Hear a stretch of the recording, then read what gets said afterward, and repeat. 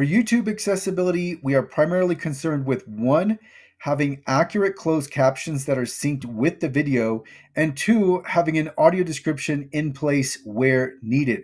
That is the key takeaway from this video. From here, we'll discuss more details and I'll explain these first two items further. On the screen with me is a preview graphic of what's ahead. We will discuss ADA compliance versus the Web Content Accessibility Guidelines. We will look at some other accessibility considerations in play with YouTube.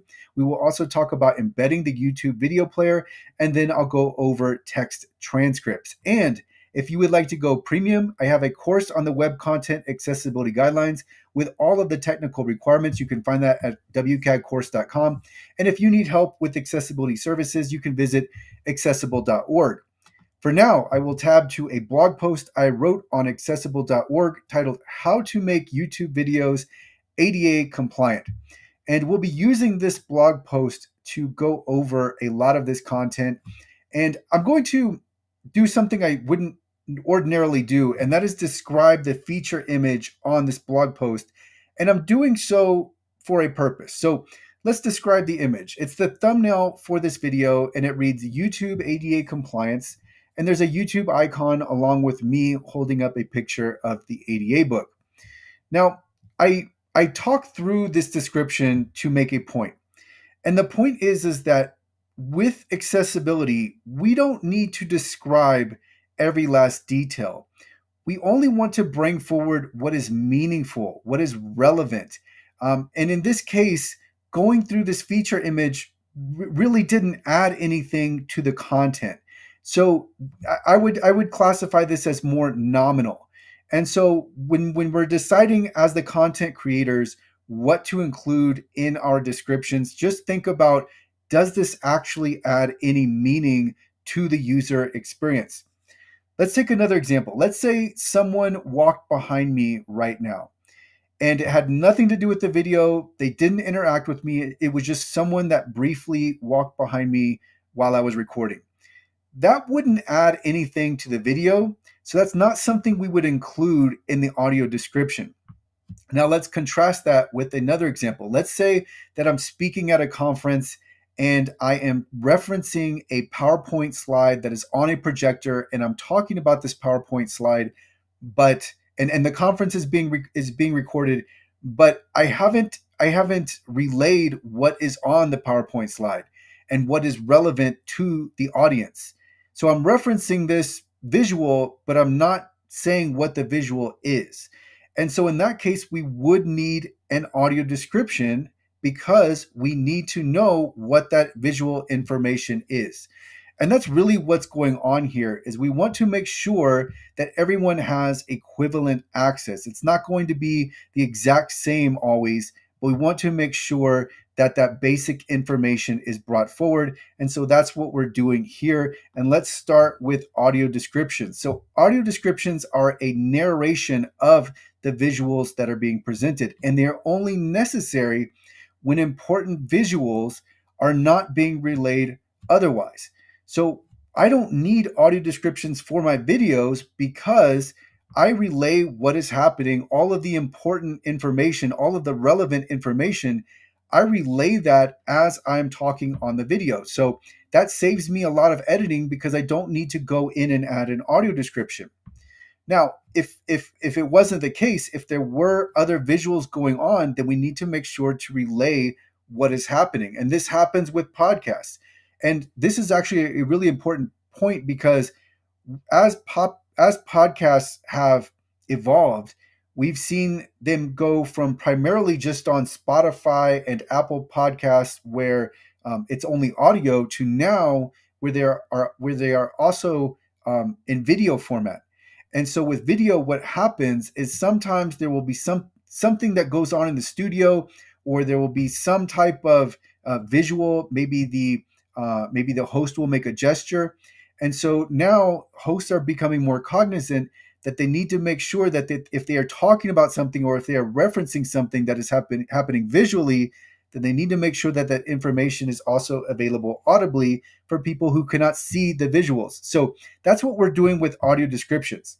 Now, when it comes to closed captions, uh, one important point to start off with is that closed captions and subtitles are related, but they are different. So when it comes to subtitles, think of subtitles for more as when you may not be able to make out the audio. So you can hear the audio, but you may not be able to understand uh, what the spoken dialogue is. And so this can come into play when, let's say, the volume goes down in a movie for a certain spot, then subtitles would come up because we can't understand what is being spoken. Uh, similarly, with someone, let's say there's an actor with a very thick accent, uh, then subtitles would be very helpful. And then also, of course, if the uh, if the language is in a foreign language, then we, we would also need subtitles there. Now, in contrast, closed captions are like think of closed captions as like subtitles plus. So closed captions are going to include not only the dialogue but also any meaningful non-spoken audio. So let's think of cheering, let's think of a door slamming, um, any other audio that is relevant and again brings forward meaning we're going to include that in the closed captions in case someone is not able to hear this audio and they're just and they're relying upon the closed captions. So this is why it's so important that you understand the difference between subtitles and closed captions. But if there is no other meaningful uh, non-spoken audio, then the effectively the subtitles are fine because there's nothing else to include.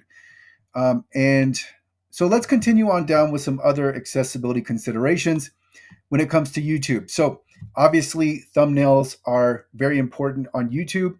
And just keep in mind that if there is some additional meaning in thumbnail messaging, then the best place to put that would be in the video title. So just bringing forward whatever messaging is happening in the thumbnails. Um, and then also just some color contrast considerations. If you are making a thumbnail uh, most most often the text is going to be larger text so you only need to have a three to one color contrast ratio if you're using larger text. And by the way larger text being uh, 14 point and bold or 14 size font and bold and then uh, or just 18 size font with no bold. All right and then so Another consideration is if you have a video that contains blinking or flashing graphics where the blinks or flashes uh, happen more than three times within a second, then you should precede that with an adequate warning that the graphic may trigger seizures. Um, this usually doesn't come up because um, just those type of graphics are annoying anyway. And then also you want to make sure that your video titles are clear and descriptive and explain the video's content. And this is getting into you know when we we talk about some of these other accessibility considerations um, sometimes there's you know it's not always going to be precise because some videos sometimes videos are set up in such a way that they are they want the video to ma- re, uh, remain mysterious. Um, and if that's the case then you just want to make sure it's mysterious for everyone. But generally you want to have um, video titles that are descriptive and clear. All right so Moving on to embedding YouTube videos in your web pages. Uh, I'm not going to cover this entire section of the blog post, but what I will tell you is that the YouTube video player actually has some technical accessibility issues when we look to the web content accessibility guidelines. And on this point, I've actually skipped um, one of the topics I wanted to discuss just briefly. When it comes to ADA compliance, um, there's nothing there's nothing in the Americans with Disabilities Act that tells us, hey, here's exactly how you make YouTube videos accessible. So what I'm doing right now is I'm referencing the web content accessibility guidelines, and these are technical standards for web accessibility. And inside within these standards, these standards are comprised of technical requirements that help us understand what to do. And so while these aren't required under Title III of the ADA, which applies to most private entities, um, it, they are the web content accessibility guidelines have been adopted um, in Title II of the ADA uh, because of this recent web rule update uh, that happened. So uh, just know that Title II is for state and local governments and for public entities, and for um, Title III we look to the web content accessibility guide, guidelines as a very helpful reference. Uh, these technical standards aren't the law, uh, but they are helpful in determining, you know, what we can do to improve the accessibility of our digital assets. All right, so back to back to embedding YouTube videos. YouTube videos themselves, if you embed them, there are some technical accessibility issues that exist. And we can actually go to issuetracker.google.com and you have to search for this. I'll include a link in the description. But if we go here, we can we can see that in, on June 6, 2022, there were 26 accessibility issues that were reported. Now, since then, the YouTube team has worked through some of these issues, but I bring this up just to let you know that there are still some technical accessibility issues that exist uh, for the YouTube video player. Uh, so when you're embedding it on your website, just keep this in mind. Um, it doesn't mean that it's completely inaccessible. It just means that when we look to these technical standards, there are some instances where the YouTube video player is not going to be technically conformant. All right, so we're going to continue on down the blog post, and now we're going to talk about transcripts. So, when it comes to transcripts, the reason why we skip over them is, and we go directly to audio descriptions, is because audio descriptions are required for double A conformance with the Web Content Accessibility Guidelines. And so, let's actually look at the Web Content Accessibility Guidelines, and we're going to look for a checklist here. And I've got the wrong page up. Let's see if I have the right page anywhere. Uh, no, but what? So I've pulled up the Web Content Accessibility Guidelines, but I have the wrong page. I, oh no, I have the right page. All right, so with 1.2.3, this is a success criterion. This is a requirement to meet the technical standards. Um, we have level A conformance, and there are different levels of the web content accessibility guidelines, there are different levels of conformance. Level A is like the foundational level, and then level double A, uh, level level double A is more comprehensive, and then level triple A is like extreme accessibility. It's very strict. But what you need to know is that what is most often referenced is conformance level AA, and that's going to include level A, but it's going to go past it. And so we have success criterion 1.2.3, which gives us the option of having an audio description or a media alternative for videos. Now, media alternative, it really just means a text transcript. So we have this option at level A, but they take this option away because in 1.2.5, we can see for conformance level AA, we need to have an audio description. So we meet uh, level A with an audio description and we meet level double A with an audio description. Now, it doesn't mean that you don't you you shouldn't have a text transcript. In fact, it's nice if you do, uh, and it, there are benefits outside of just accessibility. But I bring this up just to let you know that's what's going on with videos and text transcripts. Now, if we if we think about podcasts though, for an audio podcast, you do need to have a text transcript in place. So it's a very important distinction. But with so, so much of YouTube content now available through audio, so through Spotify and through Apple Podcasts, it's really beneficial if you just go ahead and have the text transcript anyway, because you'll need it for the audio files, right? You'll need it for the the true traditional podcasts that are only available through audio. Um, so you will um, you can have a text transcript. There's nothing wrong with it. In fact, it's very beneficial. It's a really nice bonus uh, for reasons I'm about to discuss. But it is something where it's optional under conformance level AA of the Web Content Accessibility Guidelines. Now, going back to the blog post, um, I have several benefits to the transcripts, and there are accessibility benefits there are marketing benefits and there are usability benefits. So for accessibility benefits, here's one. Let's say so let's say um, a user is deafblind, and so they cannot. That means Okay, I took too long to go through the benefits, so I'm adding this edit.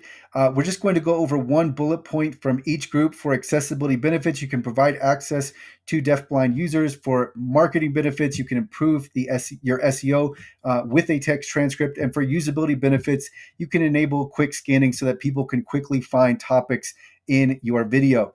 And by the way, if you need help with hosting uh, transcripts, having an organized place, uh, having one place, one centralized location to keep everything organized, to format your transcripts. You can go to my service, which is transcripthost.com. And there you can, all you need to do is upload your transcript, format it, and then you can share the link from your YouTube description or anywhere else. So that is going to do it for this video. I will include re- I will include links to everything I've referenced in the video. That will be in the description. And then of course, if you need any help with accessibility, feel free to reach out to me at accessible.org. One last edit. I didn't complete my thought on audio descriptions. So again, audio descriptions are a narration of the visual information that isn't brought forward through audio. So what we do is we add these to our video during pauses in the dialogue. Now, sometimes the pause isn't going to be long enough to add all of the narration that we need. So in that case, we are going to we, we, we will need a an alternative video that is specifically for adding in the audio descriptions and we might even extend the pauses so that we have enough time to add in all of the necessary um, narration. Now, usually we will see an alternative video anyway because there will be the original without the audio descriptions, and then we will add the alternative, then we will create the alternative with the audio descriptions. So even whether or not there are sufficient pauses, we're likely going to have that alternative available. Now, if we do create an alternative video, then we want to make sure that users can easily access this video. They can easily find the video. So here, the, the obvious way to do this is to link to the to the alternative um, right under the original video. Whatever whatever way you want to approach this, the point is that we're making it easy to access that alternative video with the audio descriptions in place. So this was a really important aspect to audio descriptions. And I got distracted when I started thinking about uh, audio podcasts now evolving to the point where we are seeing video podcasts. And I didn't complete that thought. But this is um, this is how you actually implement